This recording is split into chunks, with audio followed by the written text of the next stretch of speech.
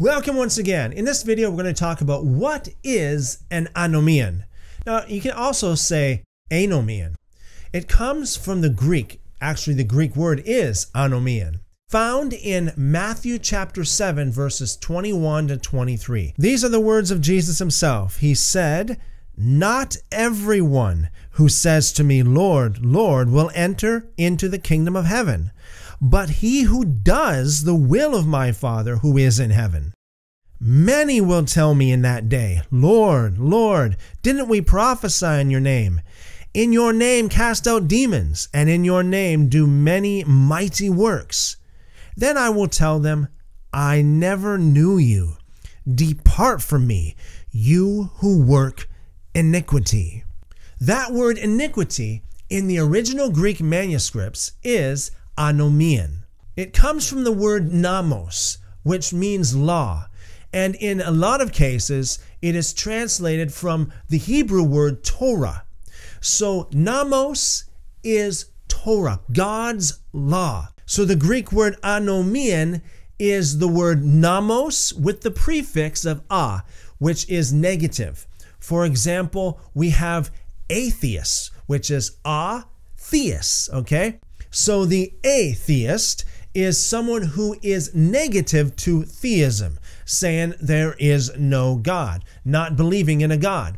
Whereas the anomian is someone who says no to God's law, who says that we don't have a law to go by. They don't believe in the law of God. So an anomian or an anomian is actually a professing Christian who says that we don't have to go by God's law.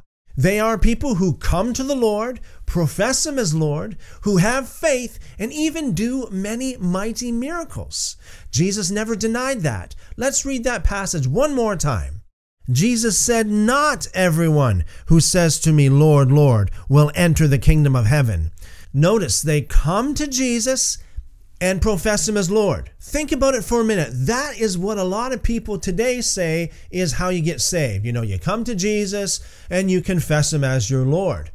But Jesus said there will be many who will come to him, come to him, and profess him as Lord.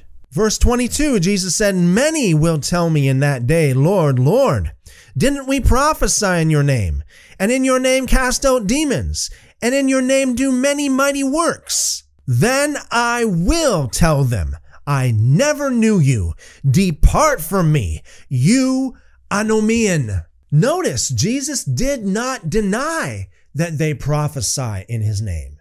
And you know, there's a lot of people today, especially in charismatic circles, that if you prophesy, wow, you're a prophet, and that's like the uh, that's like the pinnacle of spirituality, and and and you gotta you listen to every word of the prophet, and you, and you go to you know all these different meetings to hear a word from the prophet.